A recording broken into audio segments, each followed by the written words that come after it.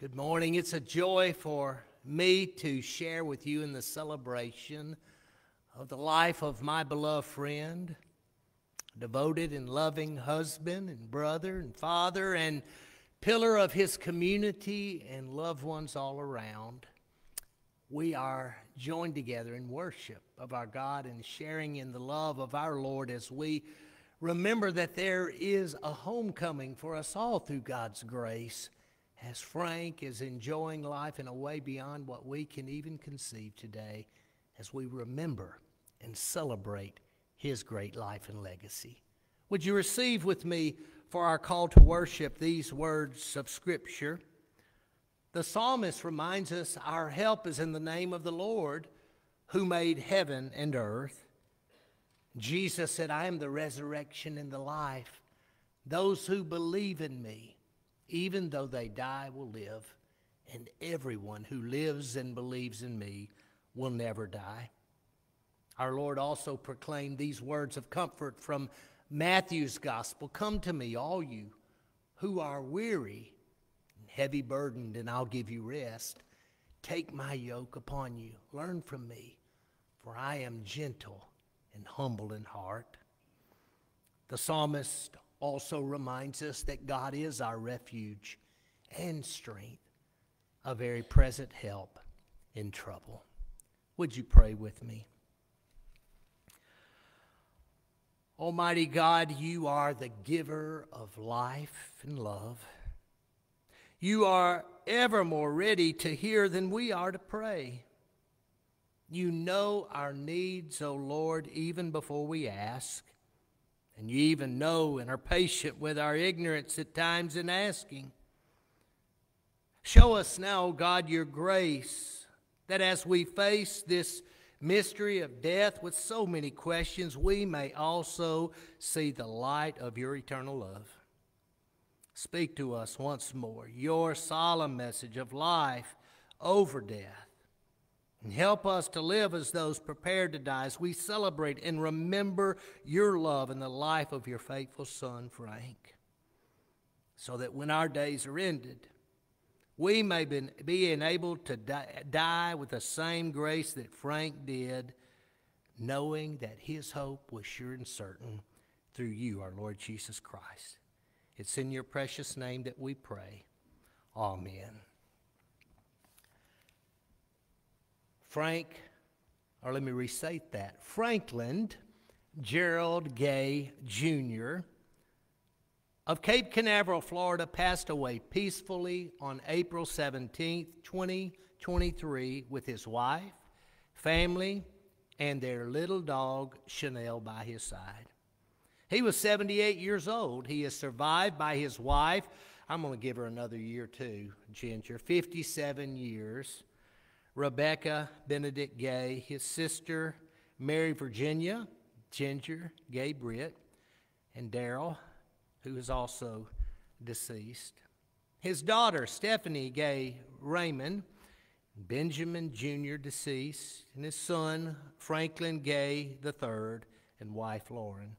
Seven grandchildren Franklin Gerald Gay IV, Julianna Townsend Gay, Stephanie Raymond Bixman and Dakota, Anna Margaret Raymond, Capers Ladner Gay, Benjamin Joseph Raymond III, and Christianna Gay Raymond, and three precious great grandchildren Azriel, Aria, Cuvo. it's tough on a Mississippi boy one grandchild, Rebecca Catherine Raymond, preceded him in death. He's also survived by a niece, Katherine Britt Marciano, a nephew, Charles Andrew Britt, three great nieces, and two great nephews. Frank was born on May 16, 1944, in Ripley, the son of Franklin Gerald Gay and Catherine Barnett Ladner Gay. He graduated from the University of Mississippi, Ole Miss, with a bachelor's degree in business, and from Memphis State University with an MBA. He re- relocated to Charleston, South Carolina with his wife.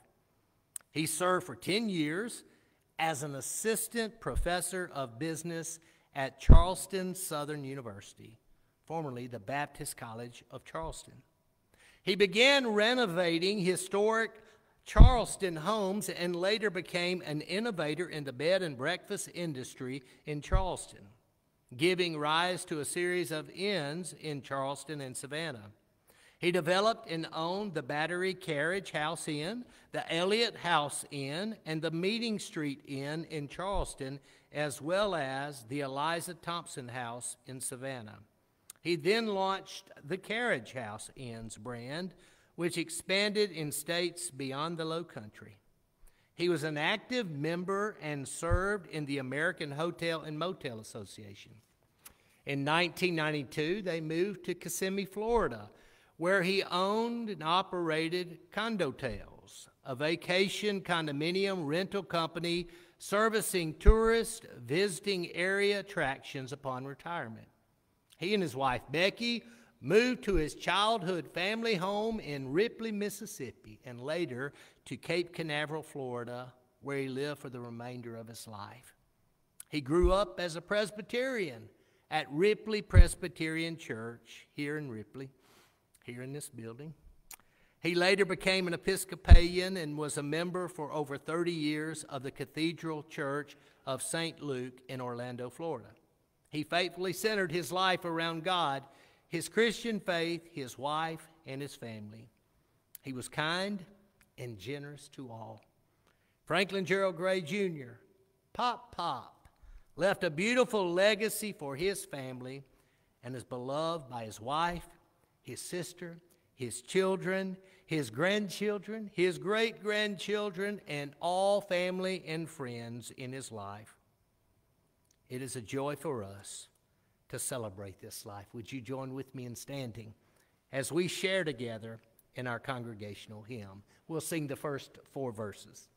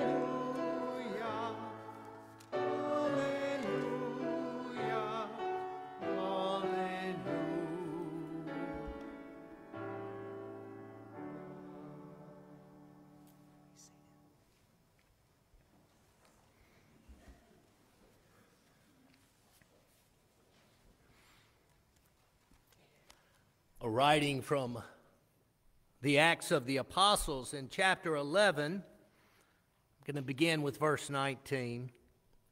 Now, those who were scattered because of the persecution that took place over Stephen traveled as far as Phoenicia, Cyprus, and Antioch. And they spoke the words to no one except Jews. But among them were some men of Cyprus and Cyrene who, on coming to Antioch, spoke to the Hellenists about proclaiming the Lord Jesus. The hand of the Lord was with them, and a great number became believers and turned to the Lord. News of this came to the ears of the church in Jerusalem, and they sent Barnabas to Antioch. When he came and saw the grace of God, he rejoiced and he exhorted them all to remain faithful to the Lord with steadfast devotion. For he was a good man, full of the Holy Spirit and of faith. And a great many people were brought to the Lord. Then Barnabas went to the to uh, excuse me. Then Barnabas went to Tarsus to look for Saul. And when he'd found him, he brought him to Antioch. So it was that for an entire year they met with the church and taught a great many people. It was in Antioch that the disciples were first called Christians. Friends, this is the word of the Lord. Thanks be to God.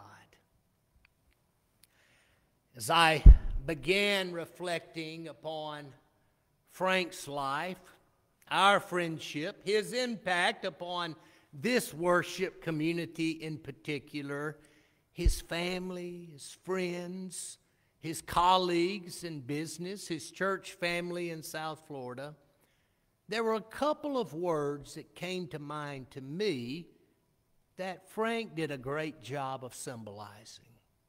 One it was that he was an encourager, one who would listen to a dry, stale sermon, maybe that I preached one Sunday, Ginger, and say, Oh, that was such a powerful message, Jody. Or maybe it would be his reflections in our Bible study as he would sit with us on a Wednesday night and always add commentary and comments and a little laughter along the way. I remember one study we were talking about Paul's ministry to the church in Corinth we spoke of that this week in our Bible study, our virtual Bible study, and how Paul at times found himself at his wits' end ministering to the church in Corinth. Frank, hearing those similar reflections once, said, Yeah, my daddy always told me, don't go to Corinth. Nothing good ever came out of there.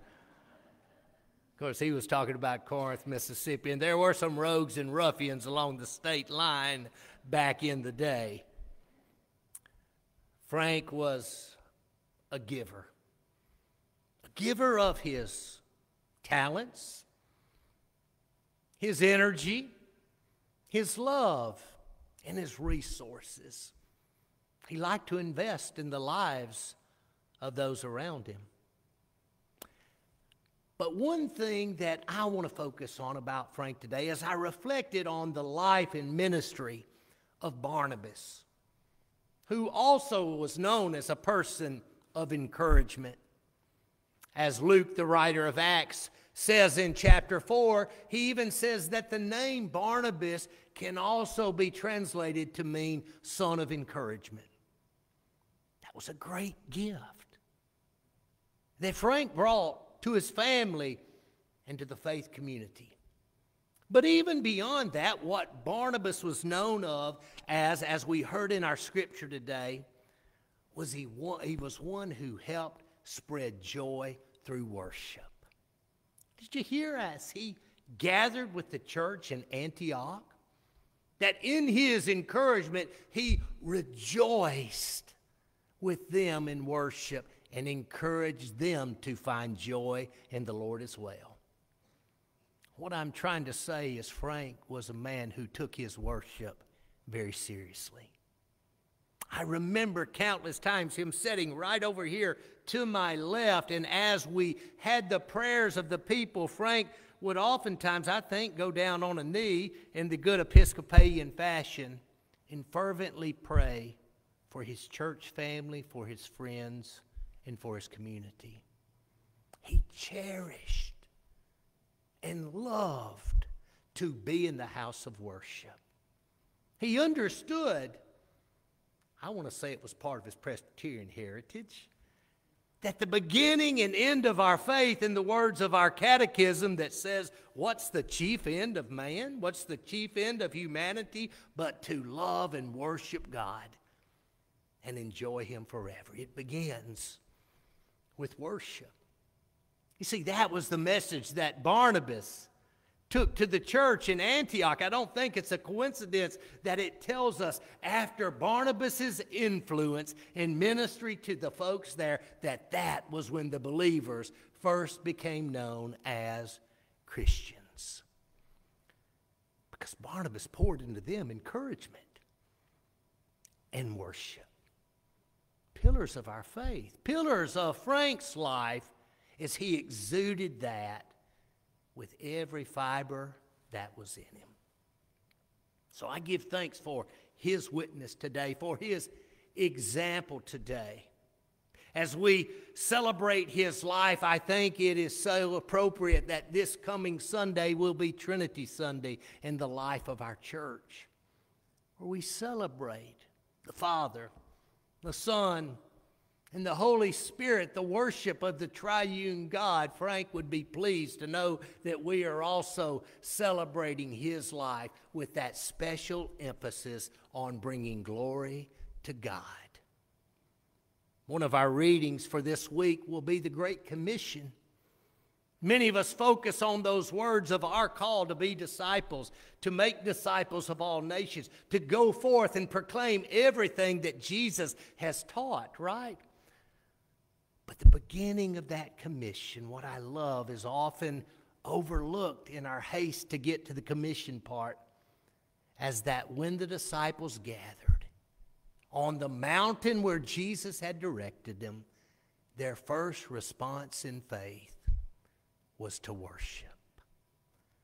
So, this day, friends, I pray that you, family, have a little more comfort and a little more joy as we gather in celebration of Frank's life, giving glory to his Savior who gave Frank the sure and certain hope that sickness, sorrow, tears are but, are but for a moment, for life, love, and joy is forever.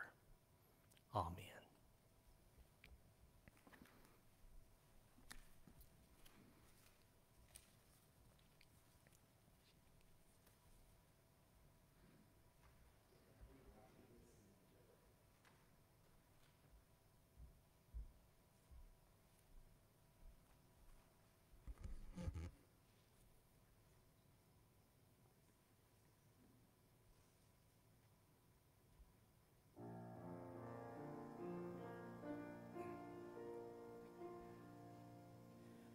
Our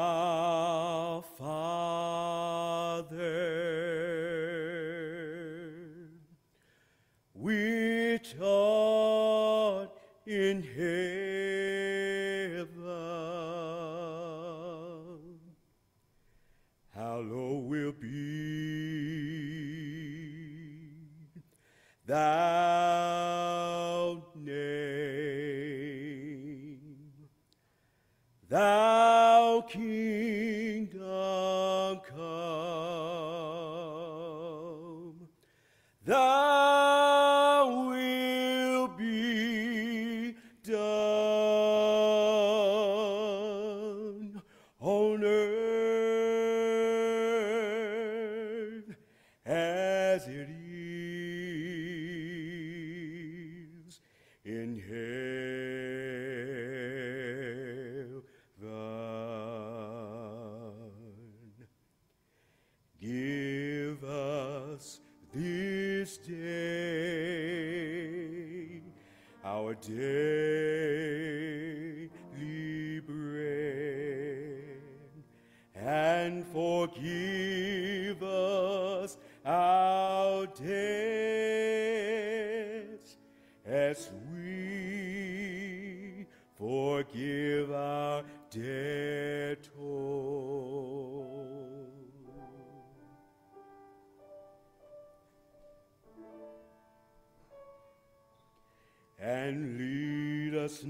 Not into temptation, but deliver us from all evil.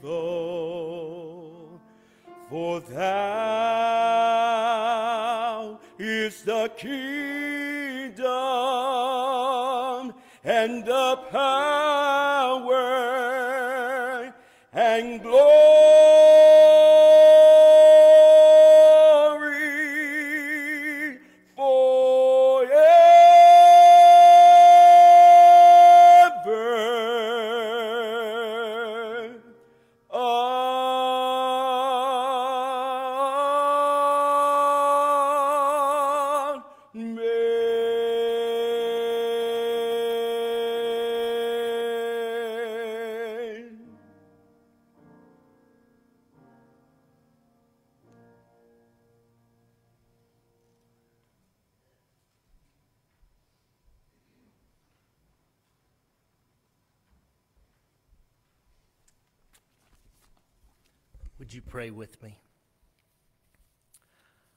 Oh God, we are indeed grateful for the gift of prayer, the gift of music, the gift of love, the gift of life.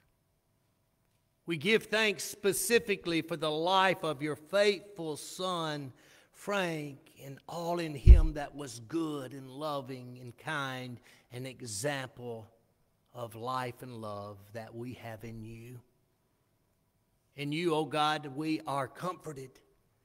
As we pray, O Holy Spirit, and ask that you continue to clothe this family with grace and mercy in the days ahead, that they may know that you are with them. And even in our questions and in our sorrow, that Frank is with you and that his life has been fully restored. We thank you, O God, that through grace we all have that gift if we entrust ourselves to you. For you came to this world to embrace our brokenness, to give restoration to all who believe in you. May we be comforted in the days ahead. And may our lives reflect your love in this community and the world around us so that you may be glorified through our lives and with our joy. And now, God, as your children, we join our voices as one and say in prayer the words you taught us Our Father, who art in heaven, hallowed be thy name. Thy kingdom come, thy will be done on earth as it is in heaven. Give us this day our daily bread, and forgive us our debts as we forgive our debtors. And lead us not into temptation, but deliver us from evil. For thine is the kingdom, the power, and the glory forever. Amen. For our scriptural charge, I offer these words as God's children. You are holy and dearly loved. Clothe yourselves with compassion, kindness, humility, and patience, forgiving one another as the Lord forgave you. And over all these virtues, put on love, which binds them together in perfect harmony. And for our blessing, Aaron and Moses offered this priestly blessing to the people Israel that we still celebrate as God's children today. May the Lord bless you and keep you. The Lord make his face shine upon you and be gracious to you. The Lord lift his countenance, his gaze upon you, and give you peace now and forever. Amen.